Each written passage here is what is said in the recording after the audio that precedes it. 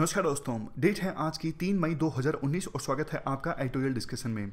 नज़र डाल लेते हैं कौन से आर्टिकल्स आज हम डिस्कस करने जा रहे हैं। पहला आर्टिकल यहाँ पे। मसूद अजहर को अब यूनाइटेड नेशंस सिक्योरिटी काउंसिल ने ग्लोबल टेररिस्ट डेजिनेट कर दिया है। इंडिया की ये एक बड़ी डिप्लोमेटिक विक्ट्री है डिस्कस करेंगे इस आर्टिकल को। नीचे का ये आर्टिकल एक दुखद घटना के बारे में है। महाराष्ट्र के गढ़चिरौली डिस्ट्रिक्ट में नक्सलियों के द्वारा एक लैंडमाइन अटैक किया गया, जिसमें हमारे 19 सिक्योरिटी पर्सनल शहीद हो गए। डिस्कस करेंगे इस आर्टिकल को भी। बीच में ये बड़ा आर्टिकल श्रीलंका में हुए टेररिस्ट अटैक के बाद वहाँ की राजनीति से संबंधित है। नहीं इंपॉर्टेंट आर्टिकल नहीं डिस्कस करेंगे। नीचे का ये आर्टिकल काफ़ी ज़्यादा इंपॉर्टेंट है। Female labour force participation rate के बारे में। महिलाओं के एजुकेशन लेवल में इंप्रूवमेंट हो रहा है, लेकिन फिर भी female labour force participation rate क्यों कम हो रहा है? क्या रीजंस हैं? महिलाओं का लेबर फोर्स में पार्टिसिपेशन काफ़ी ज़्यादा कम है। डिस्कस करेंगे इस आर्टिकल को डिटेल से। और दूसरे पेज पे ये आर्टिकल एक इंटरव्यू प्रकाशित हुआ है क्लाइमेट चेंज से संबंधित। देखो सीधे सीधे पॉइंट्स नहीं निकल के आ रहे हैं। मतलब चर्चा चल रही है तीन लोगों के बीच में।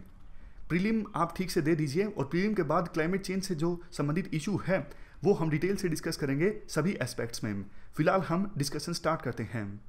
सबसे पहले important article United Nations security council के द्वारा मसूद अजहर को ग्लोबल टेररिस्ट डेजिनेट करने से संबंधित है। आप जीएस पेपर थ्री के इस टॉपिक से आर्टिकल को रिलेट कर सकते हो।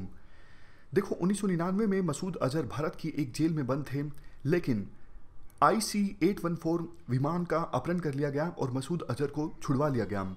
उसके बाद मसूद अजहर और उनकी ऑर्गेनाइजेशन जैसे मोहम्मद ने इंडिया में बहुत सारे टेररिस्ट अटैक्स को अंजाम दिया। जैसे 2001 में पार्लियामेंट अटैक हुआ 2016 में पठानकोट में एयरबेस पे अटैक हुआ, और हाल ही में 14 फैब को सीआरपीएफ के काफिले पर पुलवामा में अटैक किया गया, जिसमें 40 से ज़्यादा हमारे जवान शहीद हो गए। इन सभी अटैक्स की ज़िम्मेदारी ली जैसे मोहम्मद ने।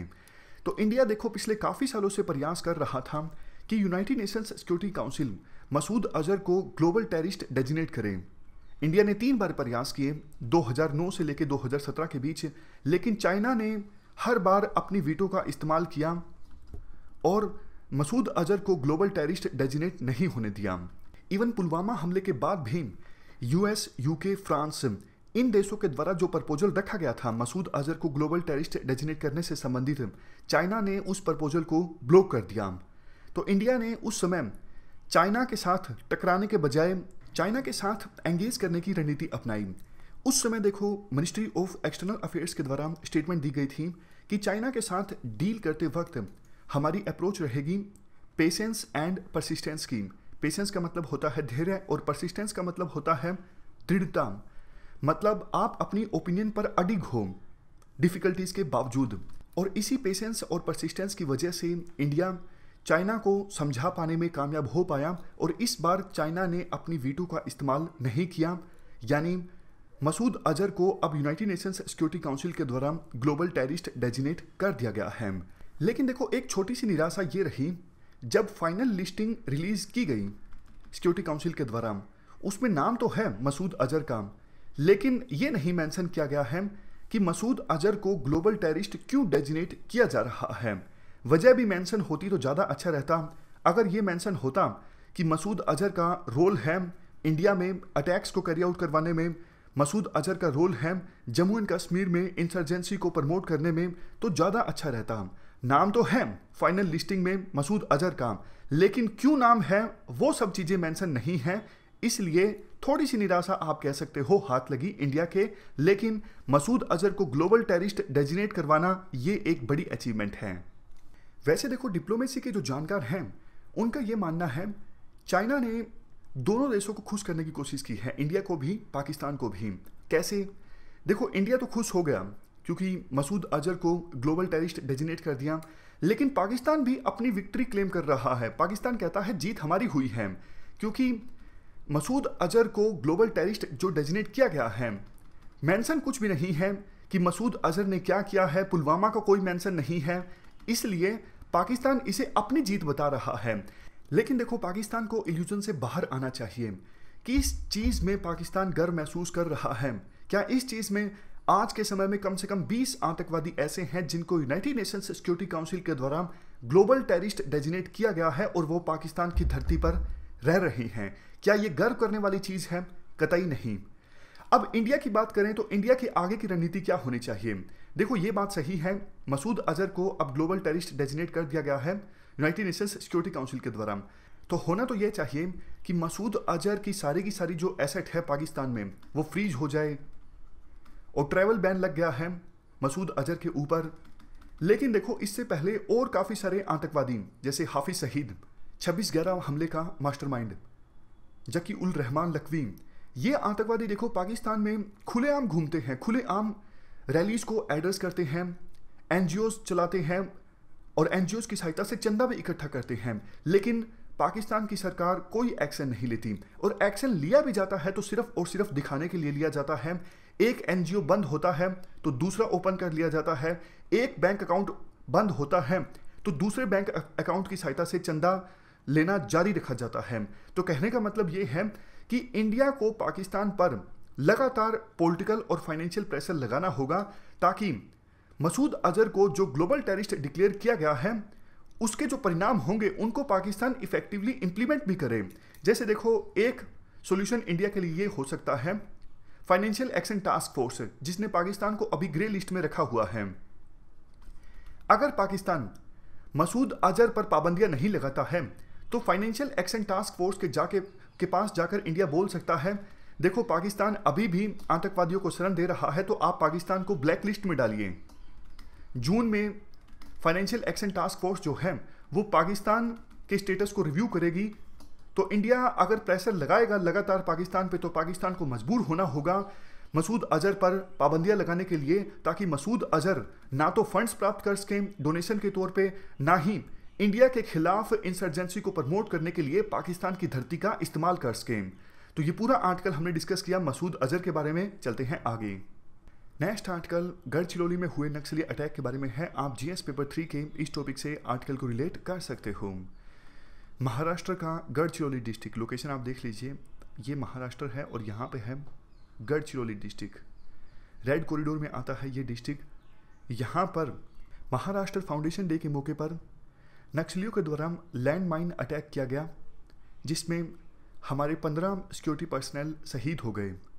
इससे पहले देखो ऑलमोस्ट एक महीना पहले छत्तीसगढ़ में भी नक्सलियों के द्वारा अटैक किया गया था, जिसमें बीजेपी के एक विधायक और कुछ सिक्योरिटी पर्सनल की डेथ हो गई थी।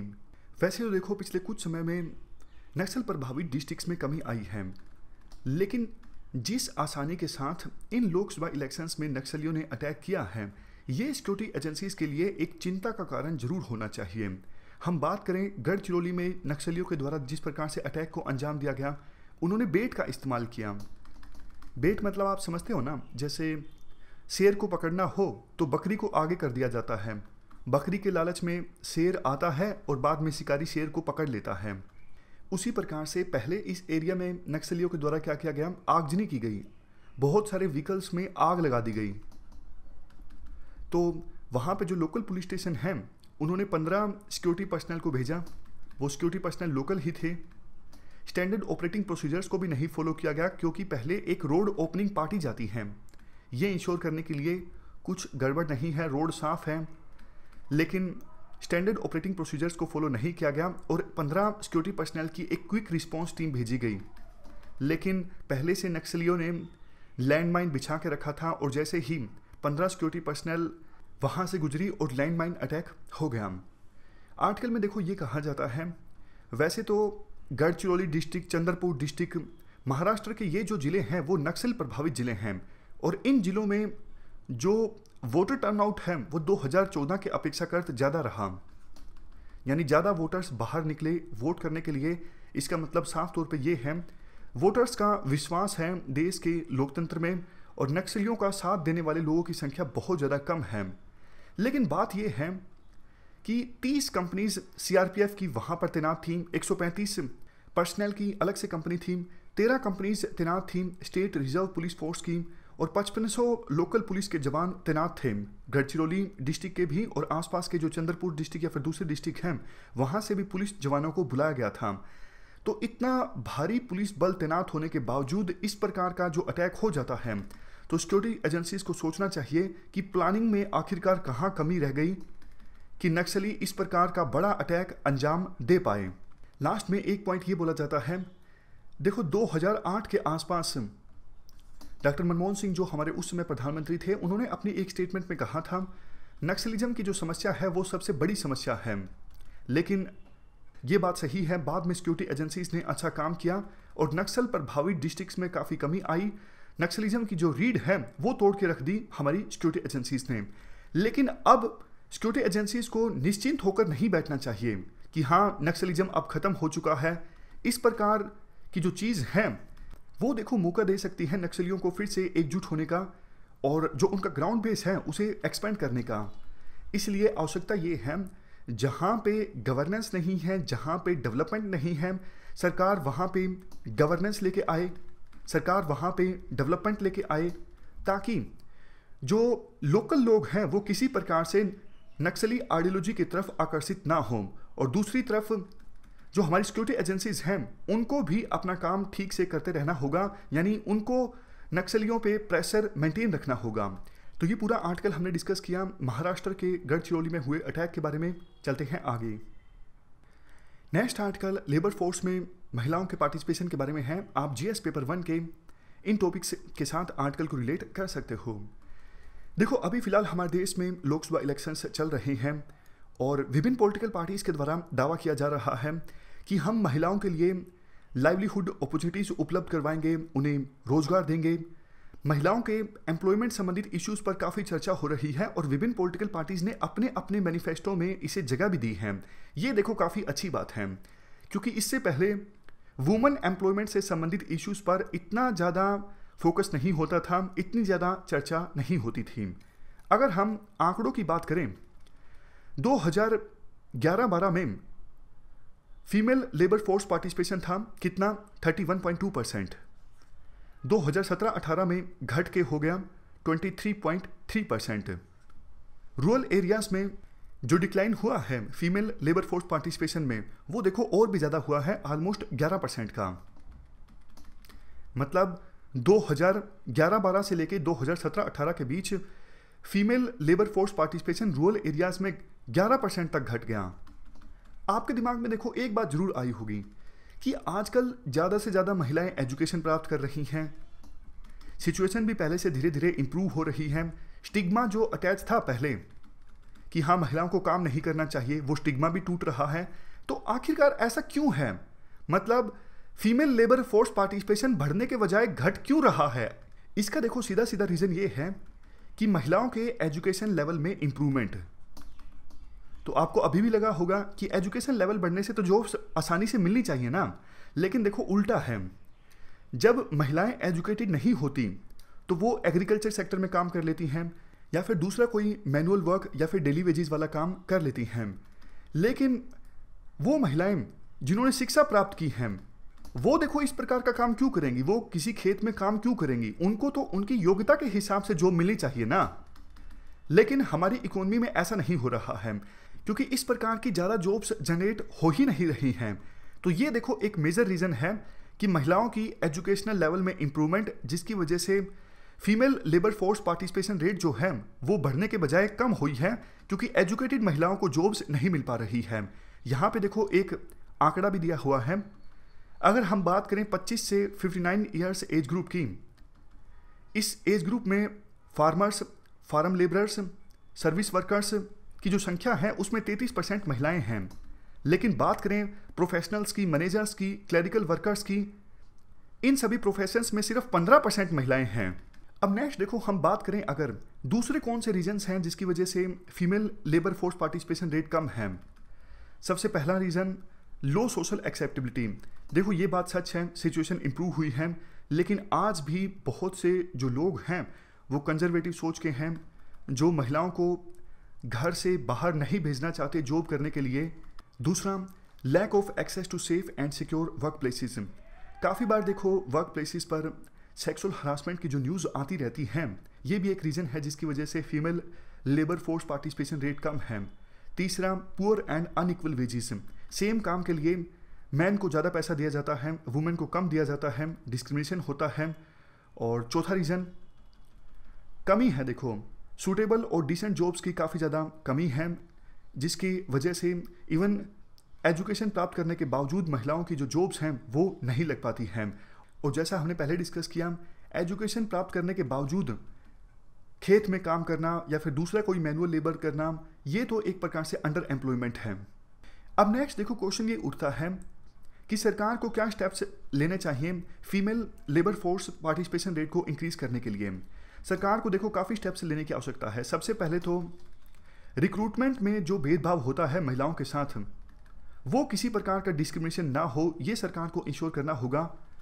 दूसरा वर्क प्लेसेस पे महिला सुरक्षित तरीके से काम कर सकें। इसके लिए भी सरकार को 2013 का वर्क प्लेसेस पे सेक्सुअल हरासमेंट को रोकने के लिए जो एक्ट है, उसे इफेक्टिवली इंप्लीमेंट करना होगा। तीसरा पब्लिक सर्विसेज़ प्रोवाइड करनी होंगी। ट्रांसपोर्ट सेक्टर अच्छा होगा तो महिलाएँ दूर दराज के एरियाज़ में जाके भी अच्छे से काम कर सकेंगी। इसके अलावा free and accessible public toilets होने चाहिए महिलाओं के लिए और हाउस होल्ड वाटर कनेक्शंस क्योंकि देखो, एक पॉइंट वैसे जो बाद में आएगा, अभी आपको बता देता हूँ। महिलाएँ देखो, घर का सारा काम करती हैं, लेकिन देखो, उनके साथ एक अन्याय ये है कि उनका जो काम है, वो इकोनॉमी में काउंट नहीं होता जीडीपी में कहीं भी काउंट नहीं होता। ये एक प्रकार से अनपेड वर्क है। ये बहुत ही ज़्यादा गलत है। महिलाओं का घर का जो काम है, वो भी इकोनॉमी में काउंट होना चाहिए। इसके अलावा सरकार को कौन से स्टेप्स लेने की आवश्यकता है? जगह जगह सीसीटीवी कैमरास लगाए जाएँ और लाइटिंग का पूरा प्रबंध होना चाहिए ताकि महिलाएँ रात को, शाम को काम करके लौटें। तो कुछ रोड पर ऐसे स्पॉट्स ना हो जहाँ पे बिल्कुल लाइटनिंग ना हो, अंधेरा हो। तो इस प्रकार की जगहों पर वायलेंस की संभावना जो है महिलाओं के अगेंस्ट वो ज़्यादा होती है। पुलिस भी अपनी जो पेट्रोलिंग है, वो बढ़ाएँ। अगर देखो, ये सब चीज़ें होती हैं तो महिलाएँ सेफ़ महसूस करेंगी। ज़्यादा से ज़्यादा महिलाएँ घर से बाहर निकलेगी काम करने के लिए, और female labour force participation rate जो है, वो बढ़ेगा। आगे कुछ और पॉइंट्स भी हैं। जैसे fair and decent living wages मिलने चाहिए महिलाओं को, और सोशल सिक्योरिटी की काफ़ी सारी जो स्कीम्स हैं, जैसे maternity benefit sickness benefit provident fund pension fund इनको भी महिलाएँ एक्सेस कर सकें इस दिशा में सरकार को काम करना होगा। आगे देखो, कुछ अलग तरह के अच्छे पॉइंट्स दिए जाते हैं। जैसे देखो, आपने काफ़ी बार देखा होगा, गाँव से काफ़ी सारे पुरुष जाते हैं शहरों में काम करने के लिए। शुरुआत में देखो, काफ़ी दिनों तक तो काम नहीं मिलता, या फिर ऐसा काम मिलता है जिसमें वेजेस काफ़ी ज़्यादा कम होते हैं। तो वो मैन जिन्होंने गाँव से शहरों में माइग्रेट किया है, उनके पास कोई ठिकाना नहीं हो पाता शहर में। मजबूरी में उनको सड़क के किनारे या फिर जहाँ जगह मिले वहाँ पर सोना पड़ता है। लेकिन आप सोच के देखिए, अगर किसी वुमन ने माइग्रेट किया है शहर में तो उसको कितनी प्रॉब्लम का सामना करना पड़ेगा? उसका अगर कोई ठिकाना नहीं है तो होना ये चाहिए, सरकार, माइग्रेंट वर्कर्स के लिए, खास करके महिलाओं के लिए, एक स्पेस उपलब्ध करवाए शहरों में। जो वर्कर्स जिन्होंने माइग्रेट किया है, उनको रात को एक जगह मिले सोने के लिए। और माइग्रेंट वर्कर्स की हेल्प करने के लिए, जैसे काफ़ी बार देखो माइग्रेंट वर्कर्स के साथ कोई अनहोनी हो जाती है। उनको क्राइसिस का सामना करना पड़ता है। तो उनको हेल्प करने के लिए माइग्रेशन फैसिलिटेशन सेंटर और क्राइसिस सेंटर इस्टाब्लिश किया जाए बड़े शहरों में। टेम्प्रेरी सेल्टर फैसिलिटी प्रोवाइड की जाए हेल्पलाइन उनको दी जाए लीगल एड उनको प्रोवाइड की जाए मेडिकल और काउंसलिंग फैसिलिटीज़ प्रोवाइड की जाएँ और सरकार सोशल हाउसिंग स्पेसिस भी उपलब्ध करवाए। वुमेन वर्कर्स के लिए, जैसे हॉस्टल्स या फिर किराए के लिए, किराए देकर कोई दूसरा घर, इस प्रकार की चीज़ें। और सबसे लास्ट में वुमेन वर्कर्स के लिए मार्केट में या फिर वेंडिंग जोन में थोड़ा सा स्पेस रिज़र्व किया जाए, जहाँ पर वुमेन टॉयलेट हो या फिर दूसरी जो बेसिक फैसिलिटीज़ होती हैं, वो हों। लास्ट में आर्टिकल में ये कहा जाता है, सरकार को देखो और ज़्यादा रिसर्च की भी आवश्यकता है। लेटेस्ट डेटा कलेक्ट किया जाए कितनी महिलाएँ पेड वर्क कर रही हैं, कितनी महिलाएँ अनपेड वर्क कर रही हैं, और ये जो अनपेड वर्क है, यानी घर का काम, ये तो देखो डिस्ट्रीब्यूट होना चाहिए। सिर्फ़ महिलाओं की ज़िम्मेदारी नहीं है घर का काम, पुरुषों की भी ज़िम्मेदारी है। घर का जो काम होता है मतलब सारा का सारा जो काम है, वो महिलाएँ ही क्यों करें? पुरुषों को भी महिलाओं का हाथ बटाना चाहिए इस प्रकार के काम में। दूसरा, ये सारे जो स्टेप्स हमने डिस्कस किए, वो भी सरकार को उठाने की आवश्यकता है। तीसरा महिलाओं को फार्मर्स माना जाए। जैसे देखो, अभी आपने देखा होगा, ज़्यादातर जो लैंड है, वो मैन के नाम पे होता है वुमन के नाम पे जो लैंड है, वो काफ़ी ज़्यादा कम होता है। इवन खेतों में ज़्यादा काम करने के बावजूद भी महिलाओं को फार्मर्स नहीं माना जाता है। तो जब तक इस प्रकार के बदलाव नहीं आएँगे female labour force participation rate नहीं बढ़ेगा। ये पूरा आर्टिकल हमने डिस्कस किया। Female labour force participation rate के बारे में, ये थी हमारी आज की डिस्कशन आज हमने तीन इश्यूज़ पर फोकस किया। सबसे पहले यूनाइटेड नेशंस सिक्योरिटी काउंसिल के द्वारा अब मसूद अजहर को ग्लोबल टेरिस्ट डेजिनेट कर दिया गया है। दूसरा आर्टिकल हमने डिस्कस किया, महाराष्ट्र के गढ़चिरौली में एक लैंडमाइन अटैक हुआ जिसमें हमारे पंद्रह सिक्योरिटी पर्सनल शहीद हो गए। तीसरा आर्टिकल हमने डिस्कस किया female labour force participation rate के बारे में। Thank you thank you very much for discussion